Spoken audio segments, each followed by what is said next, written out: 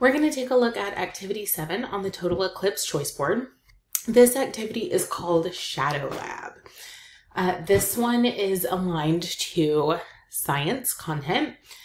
Activities four, five, six, and seven are each aligned to a different content area. So if you teach reading, math, social studies, or science, you have an eclipse activity that you can use with your students in that content area um, that directly relates. So I'm going to go ahead and click on Shadow Lab and open that activity up. So as we're looking at uh, this lesson, just one thing to note, this is really aligned more toward fourth grade. And so students in K3 might need a little bit more scaffolding as you're going through uh, this activity itself. They might not have as much background knowledge, uh, so just be aware of that. You have your standards for kindergarten through high school astronomy so that you are able to include those in your lesson plans as well as long-term goals. So what you want students to understand um, and then especially what you want upper elementary students to understand so that the moon phases are not created by shadows, but eclipses are a result of shadows. You've also got some common misconceptions um, that you are able to address in this activity. So one of these biggest misconceptions that we see from students, again, because uh, Earth space is such an abstract concept, is that when they're looking up at the moon, uh, oftentimes they think that they're looking at half of the moon and viewing it as more of a two-dimensional object than a three-dimensional object. So we're seeing half of half of the moon uh, anytime we look up at it. We're seeing half of the day side and half of the night side depending on where it is in its revolution around the earth. Um, so this would be a great misconception to read through and discuss with students um, be, because it is one that they tend to struggle with. All the graphics from this activity can be found by clicking this link and it will take you to a Google folder where you can access the different uh, graphics we'll be looking at as we continue on. So just a note there. This first page is really teacher background information. And so if shadows is not something that you discuss, whether it's in your content area or your grade level, um, this is just some background for how shadows are created. And so uh, in the morning and the evening, we have the longest shadows that we'll see created by objects. And that has to do with the angle of the light source of the sun and then um, around afternoon, the sun, that light source is directly overhead. And so it's casting that shortest shadow. And so as the earth, as the earth rotates from east to west, um, those shadows get shorter from morning to afternoon and then longer from afternoon to evening. Um, and then once the sun sets, you'll notice that you're not able to see your shadows with the same intensity that you were during the day. Our next image that we have here is looking at the differences between total eclipses and annular eclipses. Um, and so just again, having a graphic to show students um, how that shadow is hitting and where uh, that path is occurring. So during that um, solar eclipse, we are inside the moon's shadow. Um, umbra is that darkest part of the shadow that you see here. And so that's where if you were inside that, you'll either see that annular or total solar eclipse. And then the lighter part of the shadow that you see here is the penumbra. And so it's not going to be as uh, dark in that area where that shadow is being cast on Earth's surface. And again, you can continue to read through all of that teacher background information so you can help answer some of those student misconceptions. Uh, these three graphics just show the differences between each of the eclipse types. So for the total, total solar eclipse that we will be experiencing, um, really both eclipses, the um, Earth, Sun, Moon are lined up along that node that you see noted here, um, which is why we don't have a solar eclipse down here at the bottom. The main differences are uh, when the uh, Earth Moon relationship is really moon relationship is in perigee. That means that it is the closest point or where it's nearest to the Earth. So when the moon is in perigee, it's nearest to the Earth. When the moon is in apogee, it is furthest from the Earth. And so you can see that with the graphics too, that up here where the total total solar eclipse that we're experiencing, the moon is closest to the Earth. And so we're seeing more of the sun blocked out as the moon um, kind of comes between or appears to come between. Um, and then with an annular solar eclipse, the moon is an apogee, and so it's a little further away. Um, and we're not seeing the entirety of the sun uh, in the moon's shadow as we would with that total solar eclipse. Then at most times during the year, um, we're not uh, experiencing the moon or earth sun lining up on the node that you see uh, it going through or along uh, in its revolution. And so we typically don't have a solar eclipse at all. So lots of background information um, to kind of read through uh, to be able to explain what's happening uh, with that path and the shadows. Another graphic that is on here um, shows the total eclipses in blue and annular eclipses in red with all the different locations that um, people may have experienced an eclipse. And this is just for this decade. So we're looking at 2020 to 2030 um, in this graphic.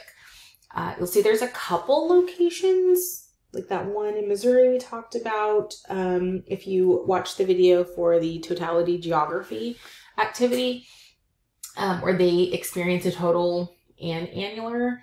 Um, we also have some places over here in Africa, Southern Europe, that experience the same thing.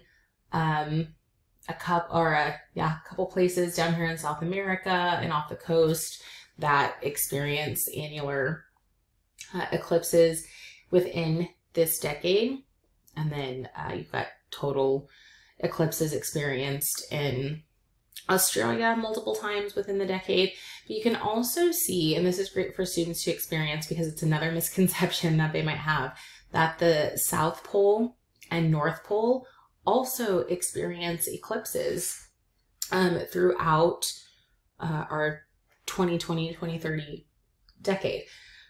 But the big thing to point out is how many locations don't have an eclipse, are not going to get to experience an eclipse. Um, it, I mean, it's quite a few. And so again, having that conversation with students and even modeling um, Earth's rotation and just how all of those different components really need to be aligned the Earth, Moon, Sun in order for that eclipse to happen and be seen. Another really, really cool thing that students will get to experience when they are out looking at the eclipse, and again, uh, lining up with shadows, is how the shadows that we're going to see on Earth aren't going to appear as they typically do. So the sun's appearance is no longer going to be a spherical one. It's not going to be um, round appearance in the sky if we're looking from a um, Earth standpoint. So you'll notice in some of these pictures, uh, student or people crossing their fingers and seeing the crescent shape. Um, that the shadows uh, from the moon will be creating, as well as the one on the right where um, you see shadows created from the trees, from the leaves on the trees. So this will be a really cool uh, concept to talk about, especially with your fifth graders. Um, it ties back to that um, behavior of light standard where we're looking at light traveling in a straight line until it comes in contact with a different medium. So with the moon being an opaque, a solid object, once its path kind of goes in front of the sun and that shadow is being created, you're not able to uh, or the sun's not able to have all of that light travel in a straight line and you've got some of those shadows forming in front of the sun and blocking it and so because our light source is being partially covered um, you've got these different sort of shaped shadows which is really really cool and so that'll be a nice tie back um, for fifth graders as well um, just kind of review how light behaves and travels. You've also got some shadow facts. Um, so again, that those last couple pages were teacher background information. Shadow facts, these are ones that you can read to students um, and just kind of answer questions that they may have or misconceptions. We've got some different vocabulary that um, they'll need to know and that can be referenced during this activity. So when you're, instead of saying it's creating a shadow, you might say it's casting a shadow, just so that they are uh, familiar with that terminology. Opaque is another big one. Um, you know, when referring to the moon, it's an opaque object. You can't see through it. It's completely solid, much like our school tables or chairs or desks or, you know, whatever we might have in the room. So if I put an object underneath my chair and the um, lights in the ceiling are my light source, such as the sun, the chair is going to cast a shadow and I'm not going to be able to see what's underneath the chair. So much like uh, us passing through or walking into the moon shadow, uh, you can kind of relate with some classroom objects that way as well. So for lower grades, this activity um, is more so modeling with a couple of students. So where you can go outside at different times of day, mark an X, um, and have the same volunteers come back at other times in the day to mark an X and we're measuring the shadows and there are different lengths of shadows at those different times of the day. So you'll notice that in the morning there um, will be a longer shadow, super short shadow midday, and then a longer shadow again in the afternoon. Um, and so again, as Earth is rotating, as it is spinning or turning on its axis, um, the sun appears to move in the sky. We know in actuality, we're the ones that are moving. The sun is um, stationary in terms of um, what we are able to witness. The sun does rotate, so if that ends up being a conversation, um, that can be a, a, misconception to address as well. It's just not rotating uh, to where we are able to see any differences, much like how the moon rotates and we don't see really any differences. Um, but you'll want to try to go out in the morning around 8, 9, uh, even 10 o'clock. You'll have kind of longer shadow. Midday, as close to noon as you can get, would be perfect. And then in the afternoon, between 2 and 3, um, again, will give you a nice long shadow length. So kind of spacing out two hours in between um, to record those shadows. Then there are some yes or no questions that students can answer, and these can be just partner discussions, table discussions, class discussions, um, so that they, again, can reinforce that concept. Now, with our older, oh, I'm sorry, they can also um, draw each shadow that they see. So recording those observations if you would like to. Um, now with our older students, they also have a shadows lab. Um, if you are in Garland and you teach fourth grade, this is pretty much identical to the lab um, that they had earlier this year, this semester, where they were investigating um, shadows. they might have used a specific object or they might have partnered up and had one person be um, the recorder while the other was uh, the one that was having their shadow marked. So if you do choose to do that and have partners, um, just make sure that the same person is having their shadow marked each time. That way you know that you're not changing that variable of um, height by using a different uh, student. So again, morning, midday, afternoon, making those predictions and then going out actually measuring. And students have a record sheet that you can either print or they can create their own data table in their notebook. Um, it's really just a, a three by three, essentially, or three by four, um, for them to record that information. So the time of day, shadow length, and then they're adding that quick little diagram of the shadow and the sun's location so that they can also track the changes in light source with changes of direction and length of shadow. Then they have uh, some questions to continue answering. So conclusion, um, questions, making sure they get their explanation in there, and then a summary of their data. And if you're wanting to extend this even further um, for fifth grade for sure, possibly even fourth grade, uh, with it being close to the end of the semester, you can add a CER in here, give them um, a question and have them write uh, that specific claim and provide evidence and reasoning to support their claim.